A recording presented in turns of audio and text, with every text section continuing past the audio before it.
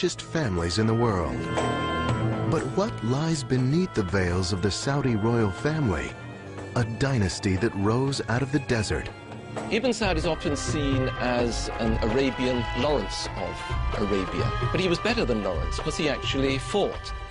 A family of larger-than-life legends. Faisal is the person who actually propelled the kingdom into the modern era. A family whose wealth was built on black gold. It was this, the great national asset, that Faisal felt that the Saudis should take control of themselves. A family whose excesses make front-page news.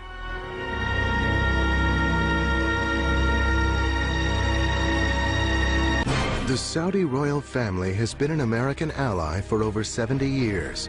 But following the tragic events of September 11, 2001, when it was revealed that 15 of the 19 September 11th terrorists were Saudi citizens, questions arose about the future of this precarious alliance, first forged with the Saudi royal family's patriarch.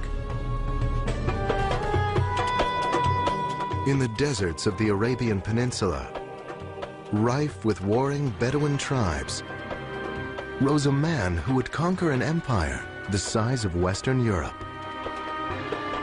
Handsome and charismatic, Abdulaziz bin Rahman al Saud, also known as Ibn Saud, might have stepped right out of the Arabian Nights. A man of great physical stature, at six foot four inches tall, he towered over most of his Bedouin brothers and was a fierce warrior. Ibn Saud is often seen as an Arabian Lawrence of Arabia, but he was better than Lawrence because he actually fought, and his capture of Riyadh illustrates that. Ibn Saud was 26 when he engaged in the campaign that would define his early career. The battle to recapture the town of Riyadh, which had been lost by his father to the neighboring Rashid tribe a decade earlier. In the pre-dawn hours of January 16, 1902, Ibn Saud and his warriors attacked the Riyadh fort and killed the governor. The garrison quickly surrendered, and Ibn Saud reclaimed his patrimony. But Ibn Saud wanted more than to be the ruler of a small town. He was a visionary who dreamt of uniting the constantly warring Bedouin tribes into one nation.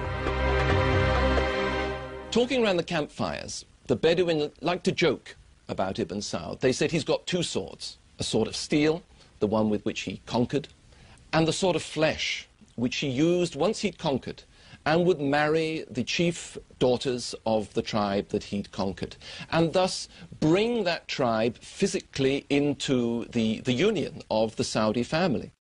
Ibn Saud would wed 22 wives and father 45 sons, 35 of whom lived through his lifetime. Ibn Saud's other means of ensuring loyalty were insisting that those he conquered become devout followers of the strict Wahhabi Islamic sect. They're the strictest section of Sunni Islam. Until the 30s and 40s, they didn't wear silk, they didn't have flowers in their gardens, they would never use perfume. They were Puritan, they were desert people, and they loved him. They had this fierce religious ideology, the willingness on the part of the Ikhwan, the Brotherhood as they were called, to die in battle. Almost a willingness, a wish to die in battle uh, because they believed they were fighting a holy war. With the Ikhwan, Ibn Saud was able to conquer an area greater than Western Europe. In the early 20s, Abdulaziz al Saud uh, was able to really take the ideology of Wahhabism, and we might consider today that's the ideology of, of militant Islam, and uh, to really make it into a political force in order to pull the tribes of Saudi Arabia together. His successes were great, but there would be deep personal losses too. In 1919, at the end of the First World War, Saudi Arabia was struck, as most of the rest of the world was, by the terrible influenza epidemic. They couldn't get um, medical supplies to Riyadh fast enough to save uh, his wife, one of his most dearly beloved wives, um, and also his, his son, Turki, um, who was particularly admired by everybody who knew him as a, as a future leader. It was a devastating loss. Yet having survived the epidemic himself, Ibn Saud was even more determined to complete his conquest. In 1926, he took possession of Mecca and Medina, the two holiest sites in Islam. This provided him with an important source of revenue, fees from the annual pilgrimage to Mecca called the Hajj. He charged Muslims to make the Hajj to Mecca. They had to pay a fee to be allowed into Saudi Arabia, and that's how he lived, frugally. By 1932, Ibn Saud had conquered the vast territory between the Red Sea and the Persian Gulf. He would name it after his family, Saudi Arabia, and proclaim himself king. However, the Great Depression of the early 30s put Ibn Saud's new kingdom in jeopardy. He watched as revenues from the Hajj dwindled. Far fewer Muslims could now afford the pilgrimage to Mecca. In 1933, when Ibn Saud was desperate for money, he was approached by a representative of the Standard Oil Company of California, offering to pay him $170,000 in gold to drill for oil. Ibn Saud actually said to the British ambassador at the time, what do you think? Should I take this money? And the British ambassador said, yes, take it, because there's no oil there anyway. They're paying you, these stupid Americans, money for nothing. He summoned someone, asked him about the oil well that was discovered, was told how much oil it was producing and what the oil was worth, and he asked, are we going to discover more? And the other fellow, smiling, told him they're going to, they're going to discover hundreds more. And he looked at him and said, cap it. There is going to be too much money, and too much money is trouble. And it took a great deal to convince him not to cap the first oil well. But before Ibn Saud even had the chance to enjoy this newfound wealth, World War II broke out, severely curtailing Saudi oil production. Many of the American oil drillers and geologists were called into active service. American oil production takes the national spotlight. Along with news of our fuel oil shortages comes the fresh warning that our known oil reserves will be exhausted in 10 years at the current... The war had dramatically diminished reserves in the U.S., and President Roosevelt recognized the importance of Saudi oil to America's future. As a result, Ibn Saud received loans through the U.S. Lend-Lease Act to see him through the war. On February 14, 1945, the king was invited to meet President Roosevelt aboard the USS Quincy. When Ibn Saud mentioned the severe pains in his arthritic legs, President Roosevelt quickly offered him his extra wheelchair. FDR hoped the king might offer him something in return, support for the proposed new state of Israel. This is something that Ibn Saud, along with all the other Arabs, uh, had opposed strenuously. Roosevelt explained the terrible circumstances of the Holocaust and how badly the Jews had been treated by Germany and needed a homeland of their own.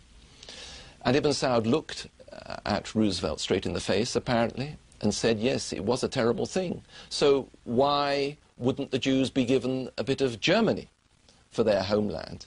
Because it wasn't the Palestinians who had ever done any harm to the Jews. The king received a promise from President Roosevelt that he would continue to be consulted on the homeland issue.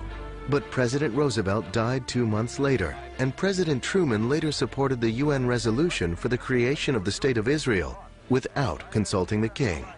While there were some who felt, especially the oil people, that the king, the old king, might retaliate by canceling the oil concession, he made it very clear to us that he was not going to do this. And so the question of Israel became an issue on which we in effect agreed to disagree. With the end of World War II, drilling resumed in Saudi Arabia. American firms have opened new fields abroad. Of these, one of the biggest and most important is Saudi Arabia. Beneath its blistering sands lies a near ocean of oil, whose potential reserves are estimated at 150 billion barrels. Standard Oil of California joined Texaco and Standard Oil of New Jersey and New York to form Aramco, the Arabian American Oil Company. With more capital for exploration, oil money came pouring into King Ibn Saud's personal treasury. This was a personal license to drill oil that Ibn Saud had granted in his lands. It was his money. And to this day, uh, there is a sense in which the House of Saud consider the oil to be their own personal property. The sudden influx of oil revenues means a new role for King Ibn Saud. In time, the vast wealth produced would transform Saudi Arabia from one of the poorest nations in the world into one of the richest. It would also have a dramatic impact on the lives of the royal family. After World War II, millions of dollars began pouring into Ibn Saud's royal purse from the black gold lying beneath the Arabian desert. He had a lot of charm, personality, uh, charisma. Nestor Sander, now 87, was a young paleontologist with Aramco when he met Ibn Saud. They drove into the camp there with this big black Chrysler sedan with these two big Somali slaves on either running board with a rifle and, and a, the bred robes, and they were very fancy looking. That evening, the king gave a dinner for 40 Aramco employees. I looked at him, and you know, he had this patch over one eye. You never find a picture of him with a patch over his eye. This black patch was on his left eye because in 1923 and 24 he'd had erysipelas, and the erysipelas had destroyed the vision in the eye. Ibn Saud had provided a feast fit for a king. He was always very generous and made sure the tribes in his extended family were well taken care of. He gave them money, and of course, when the oil came, he gave them more money. He saw to it that every tribe was happy. He saw to it that they would follow him without question. As well as spending money on the tribes, the king also enjoyed treating himself to the latest inventions, like the telephone. And he could be inventive when he ran into religious opposition. Ibn Saud arranged a special demonstration of how the telephone could work. And he had it call up a distant town. And he said to one religious sheikh, well, why don't you speak on the phone and see what you can hear at the other end? And at the other end, Ibn Saud had, had stationed another religious sheikh.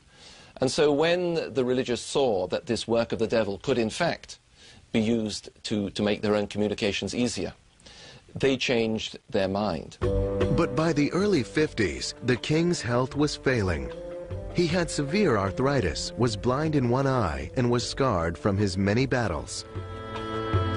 Knowing that his health was failing, Ibn Saud made sure his kingdom would stay in the family. In the last years of his life, Ibn Saud relied very strongly on his two eldest surviving sons, Saud and Faisal. But most people who knew the two brothers knew that the second brother, Faisal, was the one who really had it in his head, the one who had the political ability. And so, before he died, Ibn Saud is said to have brought the two brothers together and asked that although one would obviously become king, that was Saud, and the younger one, Faisal, would become crown prince, they should see themselves as a partnership and should work as a team. On November 9, 1953, Ibn Saud died in Faisal's arms at the age of 77. He was laid to rest in a simple, unmarked grave in keeping with Wahhabi tradition, which prohibits elaborate rituals. The simplest of ceremonies for a man they called the Lion of the Desert. He wanted to attain modernity for his people while keeping his society as it was in the earliest days of Islam. This is a tall order, but it's a formula that he perfected and that enabled Saudi Arabia to maintain its puritanical religion and at the same time accept modernity that has come through to this day, I believe. And I think that was amazingly, it showed amazing vision on his part. Yet only a decade later, his son, King Saud, would come dangerously close to destroying everything his father had achieved. Saud was known as a, a mismanager. He was not what we would call a successful manager by modern standards. Uh, the country ran into huge deficits. Um, he had a reputation for being more interested in the leisurely lifestyle than in the running uh, of, uh, of a country. King Saud turned out to be the most disastrous of the kings. No one has ever been quite able to figure out what he was motivated by, uh, other than his own personal pleasure. Saud eventually built 10 palaces and in one year ran up $5 million in food bills alone. He gave solid gold watches to visitors with his portrait. They became known as Mickey Sauds. Even with millions in oil money pouring into the treasury, the lavish lifestyle of the king had put the country in debt. The royal family was upset with his excesses and also with his support for Egypt's president, Gamal Nasser. They were worried about Arab socialism, and they were worried about Nasser's connections with the Soviet Union. The Saudis are deeply religious, consider communism, generally speaking, as atheism. President Eisenhower was concerned as well. To break Saud's infatuation with Nasser, in 1957, he enacted the Eisenhower Doctrine, which promised military and financial aid to any country fighting communist aggression. Eisenhower and Dulles had the idea for a time that Saud, representing the Saudi state, which was receiving more and more oil income, might be a useful counter to Nasser in the Arab world. America's military and economic aid dampened Saud's enthusiasm for Nasser. In 1957, Eisenhower invited Saud to visit the White House. When King Saud arrived in Washington, D.C. with his entourage, they stayed at Blair House.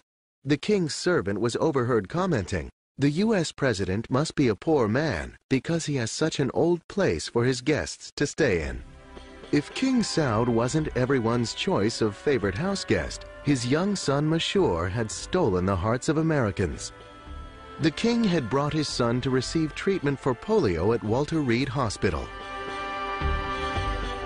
Mashour was Saud's 24th son, and perhaps the only area where Saud excelled over his father, Ibn Saud, was in procreating.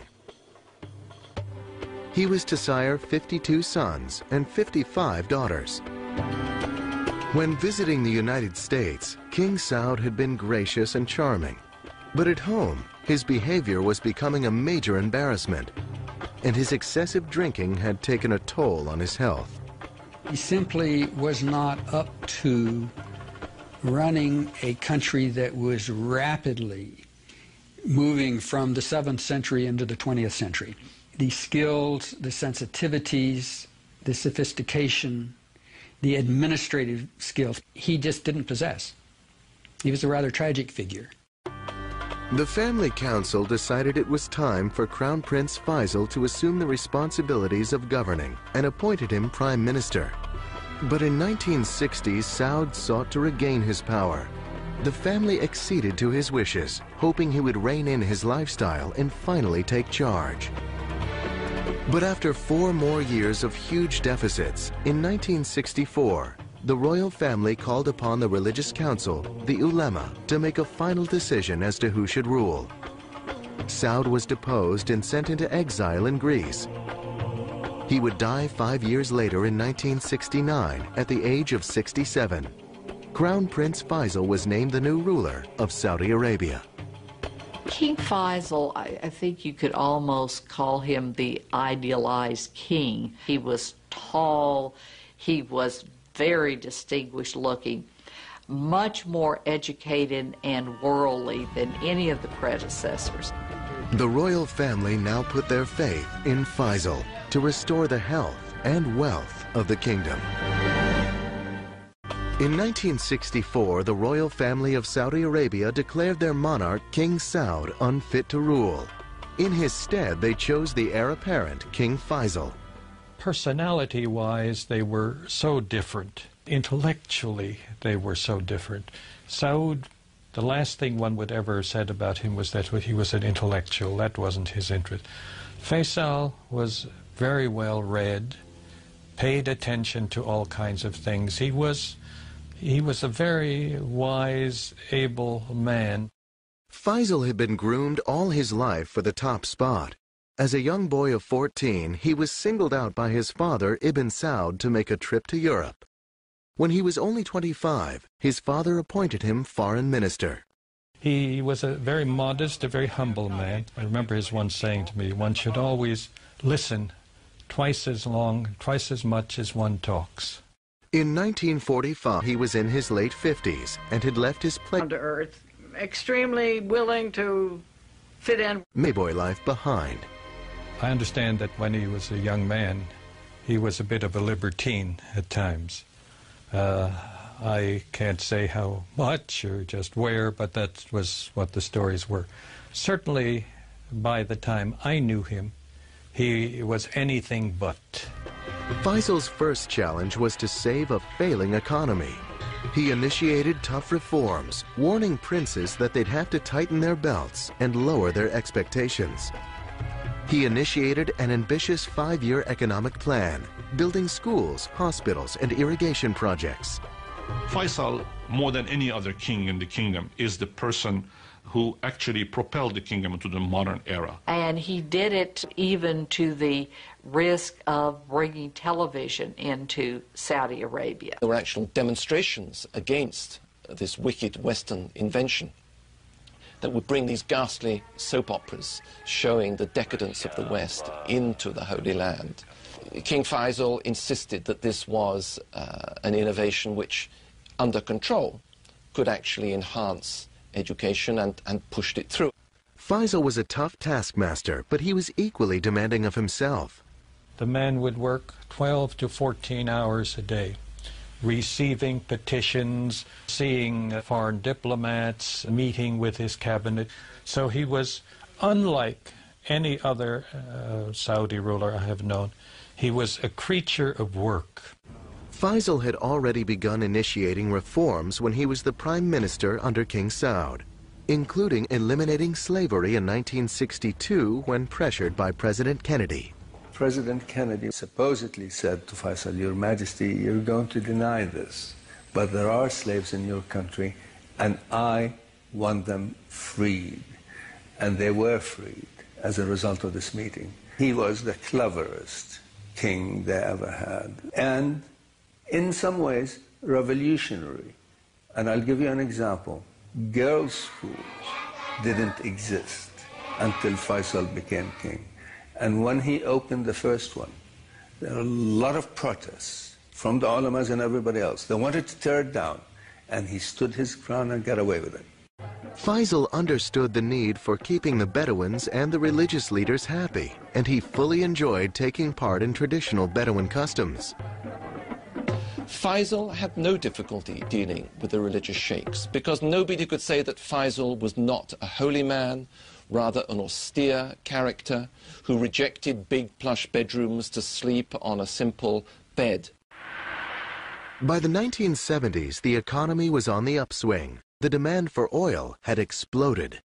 Everything seemed possible. I mean, it just seemed a cornucopia that, you know, was going to be there forever. In 1974, Faisal directed his oil minister, Sheikh Yamani, to negotiate a 60% ownership of Aramco. Saudis started to run uh, the oil fields. It was this, the great national asset, that Faisal felt that the Saudis should take control of themselves. It jerked Saudi Arabia out of this medieval past and threw them onto the center of the world stage because they were producing so much oil, so much money was coming in that they had to spend this money in order to keep the international economy going. Saudi Arabia seemed an oasis of prosperity and tranquility in the volatile area of the Middle East. In 1967, the six-day Arab-Israeli War broke out. He felt very deeply about Israel, very strongly about that. He always insisted he was not anti-Semitic, anti-Jewish, but he was anti-Israel. Again in 1973, fighting erupted. Egypt and Syria attacked Israel. During the hostilities, President Nixon promised Faisal he would be even-handed, but then approved a $2.2 billion military aid package to Israel. Faisal was furious. Having gotten this message that we're going to be even handed, and two days later saying, and we're going to give $2 billion to the Israelis for military aid, was a breach of trust, personally. I think he took it as a personal breach of trust and reacted accordingly. And it was at that point that something in Faisal snapped, and he gave way to a very strong feeling that was generated by those around him, that the power of oil held by the Arabs should actually be used in this war. On his initiative, Saudi Arabia and the other OPEC nations declared an oil embargo against the United States.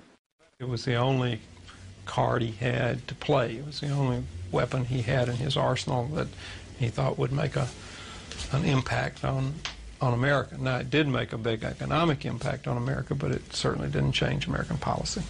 In 1975, Faisal was at the height of his popularity throughout the Arab world. Then, on March 25th, he attended his weekly majlis, or public audience for those petitioning the king for favors. Suddenly, a young man rushed towards him. A gun discharged, and the king slumped forward. Faisal had been assassinated. The assassin, Faisal bin Musaid, was King Faisal's own nephew, seeking revenge for his brother's death. The assassin was the brother of a rather unstable prince who had been involved in demonstrations against the new television stations. Faisal had ordered troops to suppress these demonstrations. They had exceeded their warrant. They had shot a number of the demonstrators, including this young man. I was so so horrified, I still am, to, to think a man of that caliber, a man of that dream, a man of that uh, desire to make things better, uh, had to reach such a, um, a horrible ending. When Faisal was killed, Saudi Arabia genuinely went into mourning. You know, the man who made sense and finally became king is gone. They knew nothing like him from within the family. They respected him. Only three months before he was killed, Time magazine had named King Faisal Man of the Year.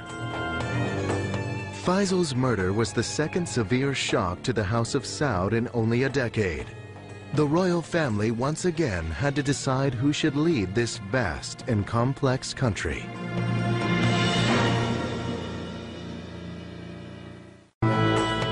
On March 25, 1975, King Faisal of Saudi Arabia was assassinated. Even as the country mourned his tragic death, the royal family moved quickly to choose the next king. The line of succession usually went to the next eldest son of Ibn Saud. However, Muhammad, the next in line, would be passed over by the royal family because of his drinking and volatile temper. The next eldest son, Khalid, was chosen instead. He was kindly. People felt, and indeed he was, benign. Uh, and he also had a great wisdom. And he had this very important role uh, of dealing with the conservative religious sheikhs. He certainly had the down-home touch. Most Saudis regarded Khalid as a very loving uncle. Khalid was more of a caretaker king, unlike Faisal, who was always busy running a government. Khalid was much more comfortable in the tribal environment. King Khalid preferred the sporting life to governing. King Khalid loved sitting in the desert. He loved his hawks. But as he got older, um, he wasn't so mobile. And so he had um, a sofa put into the back of um, an all-terrain vehicle and would go out hunting in that. The day-to-day responsibilities for running the government fell to Khalid's brother, Crown Prince Fahd. Fahd was the executive, the thinker, the modernizer. Khalid represented uh, the more traditional side, the more religious side. But this royal partnership was shaken to its core by major events in 1979. In January, Iran, Saudi Arabia's northern neighbor, was taken over by Shia fundamentalists.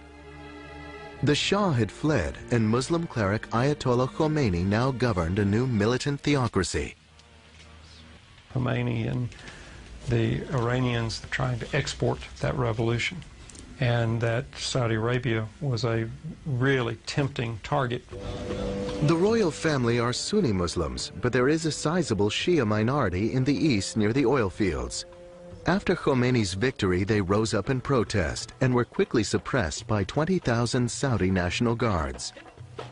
Then in December of 1979, the royal family faced another ominous threat. The Soviet Union had invaded Afghanistan. King Khalid viewed the Soviet presence as a serious threat to the region. The Soviet Union was seen as godless. It was godless. And therefore, a direct threat not just to Afghanistan but to the whole Muslim community. Saudi Arabia would support the Mujahideen, religious fundamentalists fighting the Soviets, including many young Saudi Arabians who went there to fight. It was very successful for the, the Saudis and, and successful for us. The, the, the Soviets were defeated. And uh, all these young Mujahideen, uh, uh, paid and trained uh, by the Saudis and to some degree paid and trained by us, uh, were also victorious.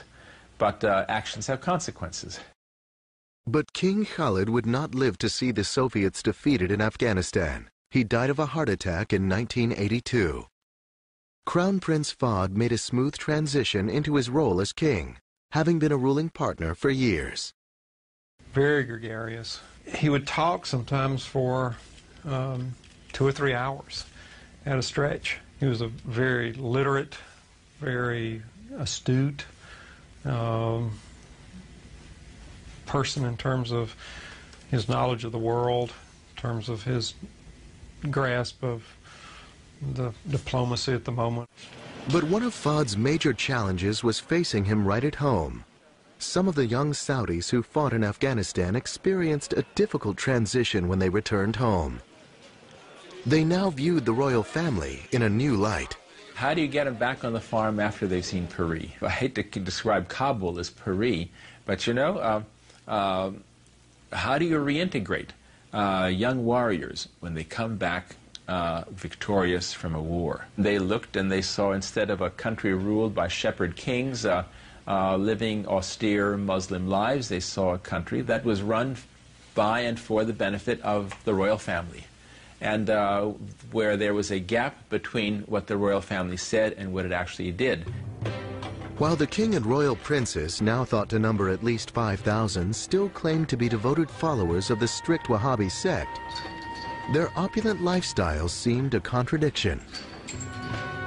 When Fahd was crowned prince, he lost $6 million in one night of gambling in Monte Carlo.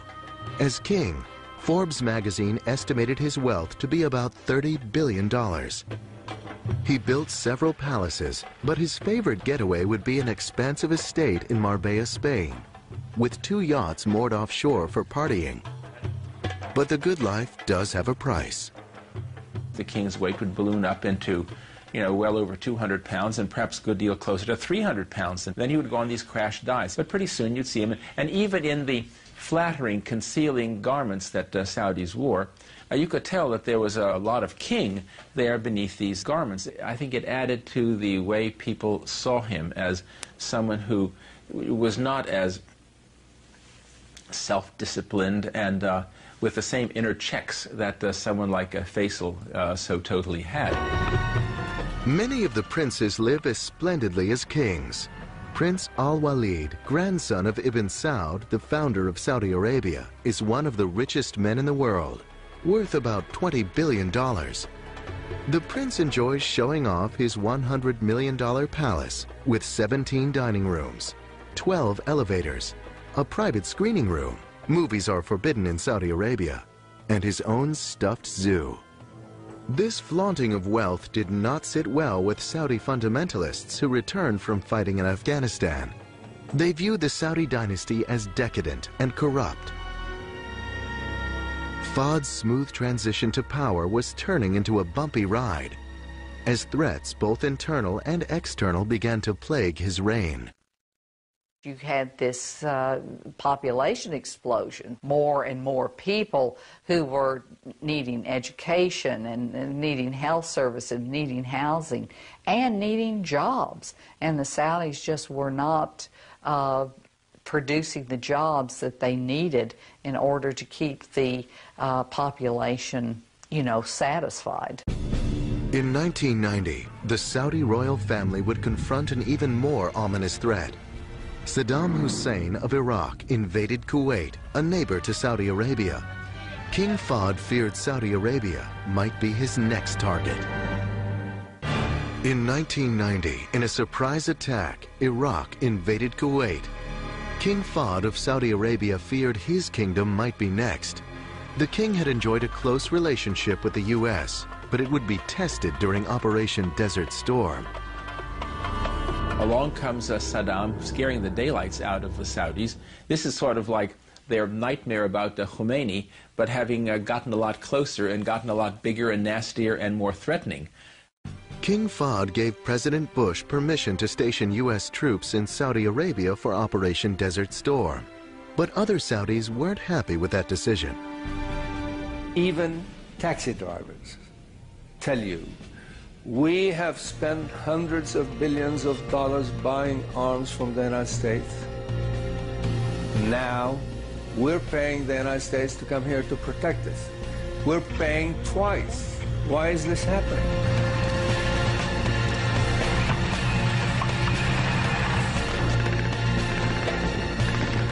After Iraq's defeat, 5,000 American soldiers remained behind in Saudi Arabia. Muslim clerics and international terrorist Osama bin Laden would angrily denounce the royal family for allowing these infidels to remain on Muslim soil. Saudis had always had a real fear and resentment of an American military presence in Saudi Arabia for two reasons. One, they are xenophobic, and the idea of armed foreigners in the country was very disquieting to them. Another thing that, that was of grave concern to them was that they consider Saudi Arabia to be sacred soil because it is the place where Mecca and Medina are. In November 1995, angry rhetoric turned to violence. A U.S. training mission in Riyadh was bombed, killing five Americans. The following year, another devastating attack. A U.S. military housing complex in Dhahran. 19 Americans were killed. King Fahd claimed to have found and executed the guilty terrorists, but FBI agents complained that they hadn't been given access to the investigations. There was now a decided chill in relations between the United States and Saudi Arabia. Internally, King Fahd faced other problems. He had anteed up the major tab for Desert Storm, about $55 billion, and the economy was suffering. Yet he chose not to cut back on princely stipends or commissions. Rather than reining in the royal family, he more or less just let them run wild. I think Fahd really was breaking the commitment to what I might call social justice in Saudi Arabia and allowing the elites to amass great wealth. In 1995, during this period of growing discontent, King Fahd suffered a major stroke. Since then, he hasn't been well enough physically or mentally to run the government. Crown Prince Abdullah has been running the government and will become the next ruler of Saudi Arabia when Fahd dies. Abdullah is the right man at the right time. He has maintained his ties to the to the traditionalists.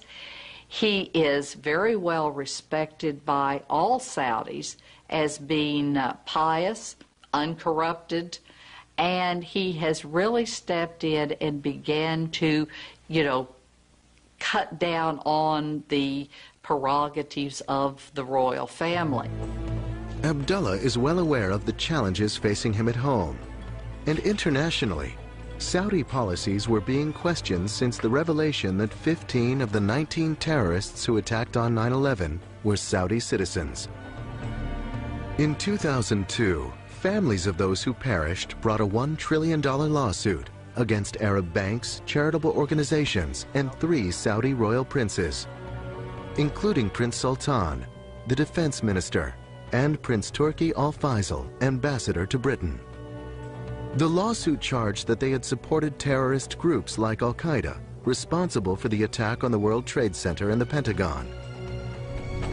Although we cannot prove that high ranking Saudi officials committed this atrocity, we know for a certainty that they were the terrorists' travel agents who delivered them well fed, well trained, and well equipped to the World Trade Center that day. The lawsuit added to the already strained relations between Saudi Arabia and the United States, and the royal family threatened to take billions of its assets out of America. And unlike 1990, when they had allowed the United States use of its air bases during the war against Iraq, in 2002, Crown Prince Abdullah said no to the U.S. unless the attack was sanctioned by the United Nations. After 70 years of interdependency trading oil for security, it seemed the royal family and the United States had reached a critical turning point. No one could predict the fate of the Saudi family. But since they already had managed an incredible leap from the Middle Ages to the 21st century in only seven decades, many felt they would probably weather this as well. This is a vibrant society. It has its problems, like all societies in the world, but it is not a failed society. It is experiencing growing pains, but it is a society that will certainly endure.